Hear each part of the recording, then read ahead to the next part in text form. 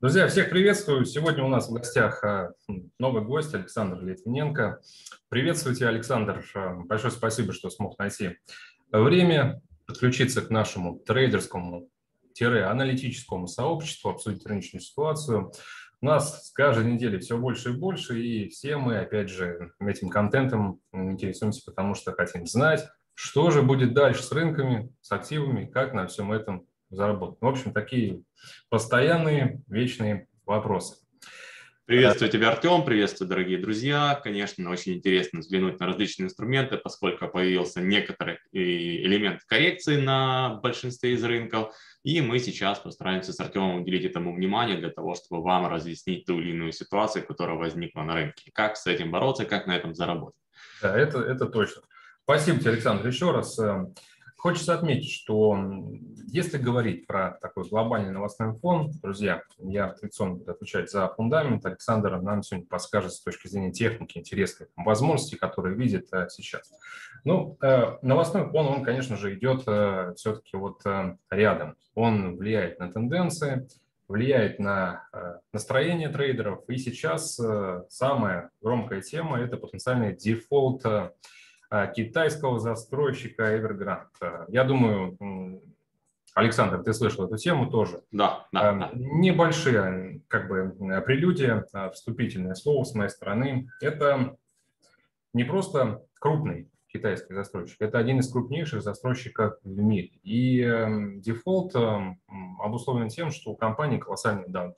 Примерно на 300 миллиардов долларов. Я даже сегодня не поленился, попробовал найти компанию, у которой примерно такие же долговые обязательства, не смог это сделать. Э, ну, видимо, вот такой вот прецедент. 300 миллиардов. Это сказать, что это много, это практически ничего не сказать. Это колоссальная сумма. Э, можно сказать, что это 2% ВВП Китая. И эм, мне очень нравится э, идея того, что сейчас вот Evergrande сравнивают с одной компании, которая прогремела в 2008 году и из которой начался глобальный финансово-экономический кризис. Это Lehman Brothers. И mm-hmm. если то же самое будет в плане банкротства, дефолта с Evergrande, это запустит принцип домино. Конечно же, больнее всего будет Китай, но Китай у нас а, регион, который влияет на глобальное настроение. По цепной реакции вот этот негатив, а, тотальная распродажа, сброс риска может прокатиться по всему мировому рынку. Я, конечно же, с одной стороны понимаю, что эти 300 сейчас в моменте присутствуют, э, и, может быть, э, опять же, на своем брифинге сегодня рассказывал, что те, кто циклически смотрит на глобальную экономику мировую, считают, что финансового кризиса уже давно не было. Последний раз в 2008 году, и с тех пор вот только ковидный кризис, кризис общественного здравоохранения. И пришло время вот новому финансовому кризису. Почему бы катализатором для этого кризиса не э, обозначить компанию Evergrande. В общем, время покажет. Я все-таки считаю, что власти Китая прекрасно понимают последствия, не допустят, э, чтобы ситуация ушла как бы в затяжной пике и стала причиной начала вот этих кризисных явлений. Реструктуризация долга – это вполне э, реальная еще э, помощь, на которую могут пойти власти Китая. И опять же, я рассчитываю на то, что они это сделают. Но пока что этот риск сохраняется. Впереди несколько дней, когда компания выплачивает долговые обязательства, и чисто теоретически в любой момент на рынок может прийти новость о том, что дефолт объявлен. И я в связи с этим, давай к демонстрации экрана тогда перейдем. Угу. Так. Я в связи с этим хочу предложить сегодня несколько а, идей. Э, это по австралийцу, который сейчас котируется на отметке 0,7271. Опять же, почему? Потому что Австралия, да, за Австралией стоит австралийский доллар, такой же рисковый актив, как и прочие рисковые инструменты рынка Форекс. Но Австралия все-таки еще один из основных стратегических партнеров Китая, и мне кажется, что а, в случае чего, в случае негативного развития событий, Э, Австралии придется, может быть, эм, среди развитых э, рынков больнее всего. Сейчас на спекуляции предлагаю именно того, будет ли дефолт или нет, э, поработать именно в расчете на то, что пара может дать импульс вверх еще там в район 0,73 и оттуда уже поставить на коррекцию. То есть речь идет об отложке sell limit 0,73 с целями снижения 0,71 и стоп-лосс на отметке 0,7360. Еще также хочу обратить внимание, что тема с австралийцем интересна тем, что Австралия в одностороннем порядке буквально э, в понедельник, то есть накануне, сообщила о разрыве торговой сделки на поставку подводных лодок с Францией. Это серьезный инцидент, прецедент фактически, потому что речь идет о контракте на несколько десятков миллиардов долларов, и эм, Франция уже начала работу э, над этими поставками. Сейчас вынуждена будет нести серьезные э, издержки и потери.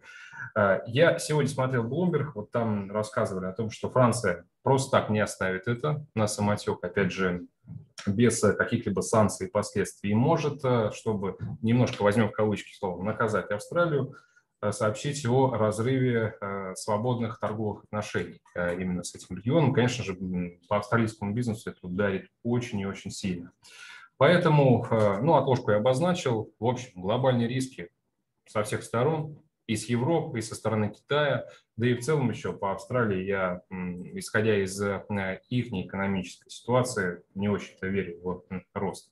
Короче, здесь вниз. Э, сделка как бы другая категория финансовых активов, золото. Здесь э, уже, соответственно, из-за тех рисков, которые я обозначил, прежде всего с э, риском с компанией Evergrande, здесь золото может, напротив, показать себя довольно неплохо, даже несмотря на то, что вот с конца прошлой недели в целом мы видим то, что золото в основном активно периодически так распродают. Сделка будет на пробой локальной, локального уровня сопротивления 1700 70 с целями в районе 1850 и стоп-лоссом на отметке 1750. Короче, э, золото почему, мне кажется, будет пользоваться спросом? Потому что защитный актив. Во-вторых, все еще ждут заседания ФРС, итоги будут проведены завтра. И я рассчитываю на то, что американскую валюту все-таки продадут, потому что считаю, что ФРС не будет э, менять политику не будет э, как бы, анонсировать какие-либо коррективы в программе количественного смягчения.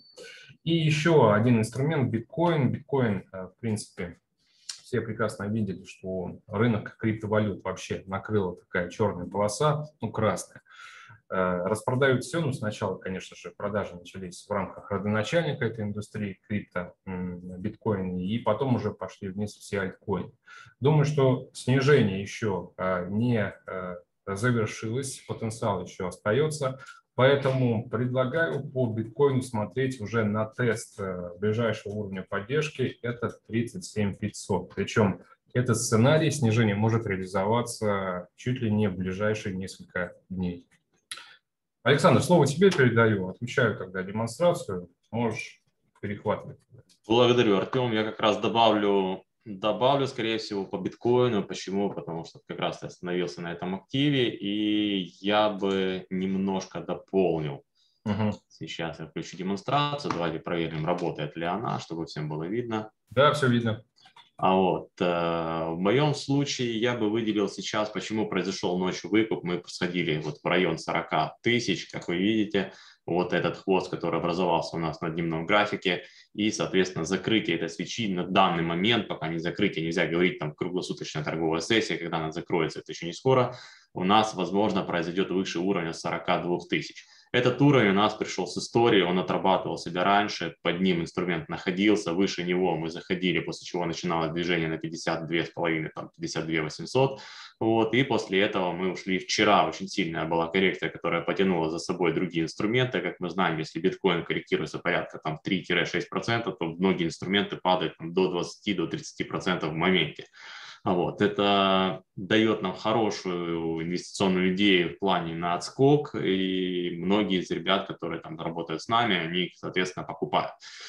Сейчас очень важно, очень важно дождаться, как закроется сегодняшняя торговая сессия. Почему? Если инструмент в данном случае мы говорим про биткоин, не сможет держаться выше 42 тысяч, это откроет, конечно же, путь, э, что он говорил про 37 500, это вот эта зона, я ее вижу, mm-hmm. вот, но мне кажется все-таки то, что мы будем еще находиться под скользящей средней, это даст нам в очередной раз импульс и, возможно, долгосрочный поход в район 32, там, может быть, 30 тысяч, возможно, в моменте.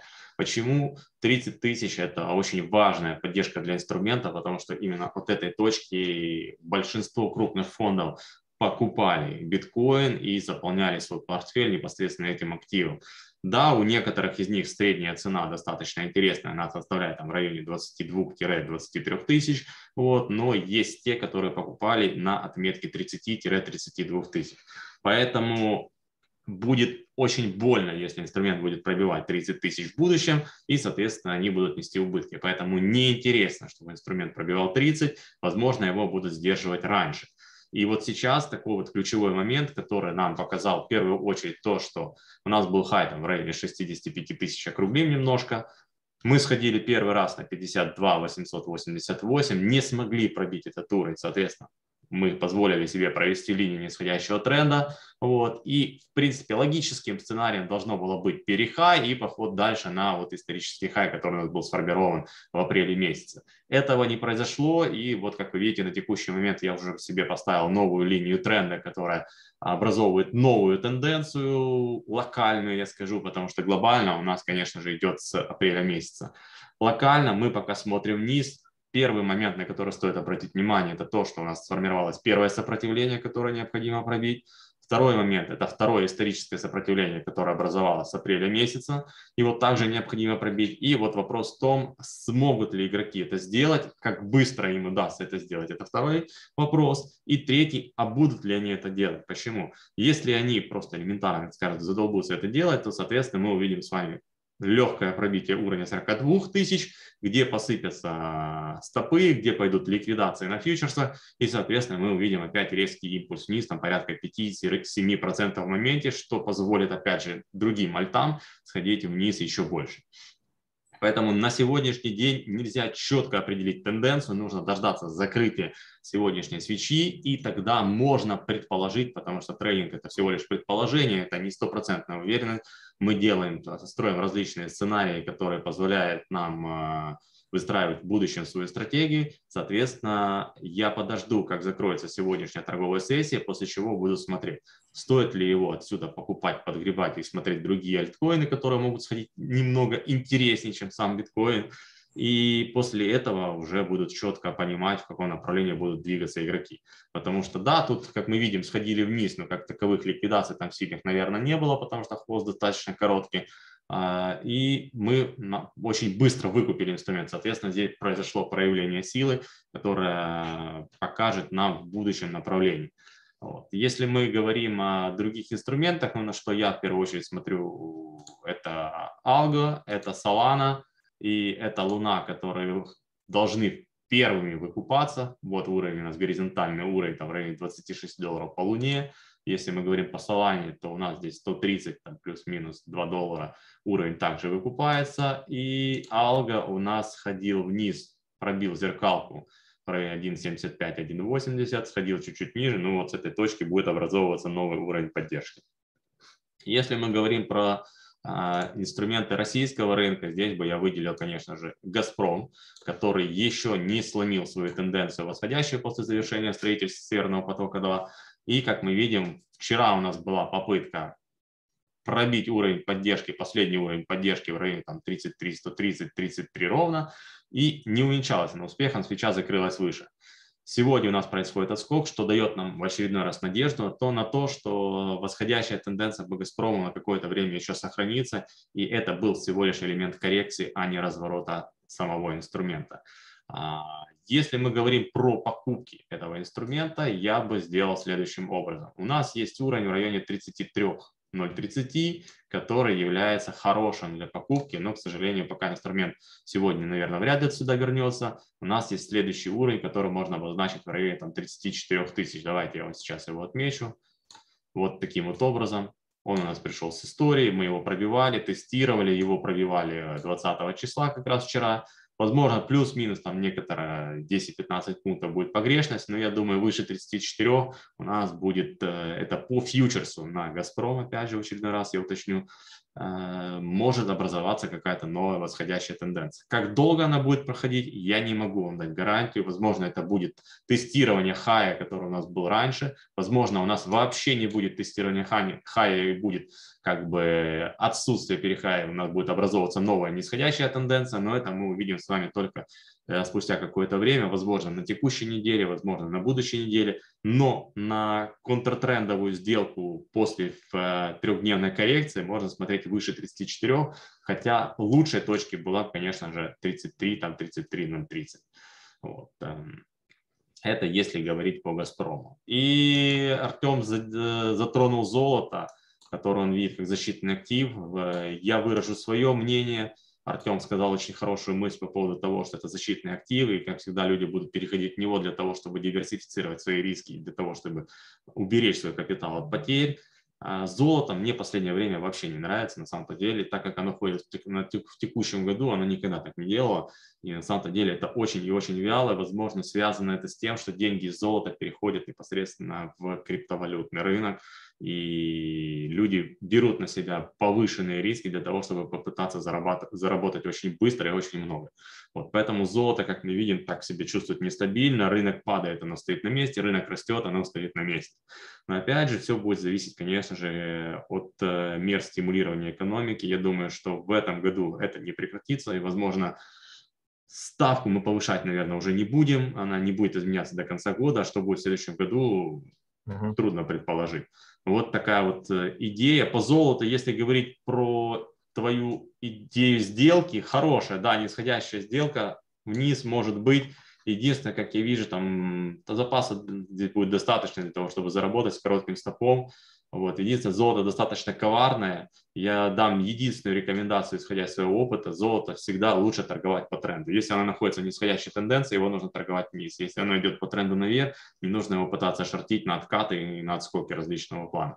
Поэтому это самая главная рекомендация. Сейчас золото находится глобально в боковике, то есть можно играть от границ канала, возможно, даже широкого, узкого, как кому удобно, какая стратегия. Но это, наверное, вот такая вот рекомендация, не совсем четкая. По «Газпрому» был лонг выше 34, а по биткоину нужно дождаться закрытия зоны 42, как закроется сейчас. Александр, спасибо тебе за твой развернутый анализ, э, за рекомендации, за сделки. Я думаю, что точно что-то э, тех, кто следит за нашим контентом, для себя подчеркнет, что-то использует непосредственно в торговле. Друзья, обязательно пишите комментарии, оставляйте обратную связь, нам она очень важна. Фидбэк всегда полезен, может быть, какие-то инструменты нужны, чтобы мы дополнительно разобрали. Открыты, в общем. Э, еще раз, э, у нас сегодня в гостях был Александр Литвиненко. Я думаю, что наша встреча по вторникам будет э, регулярный. И, соответственно, дальше продолжим и с Александром также анализировать для вас рынки и искать э, возможности, которые также можно использовать. Александр, спасибо тебе. И спасибо, Артем, за внимание. Спасибо всем вам. Желаю хорошего настроения, хорошего дня и прибыльных сделок. Увидимся в следующий вторник. Пока. Счастливо.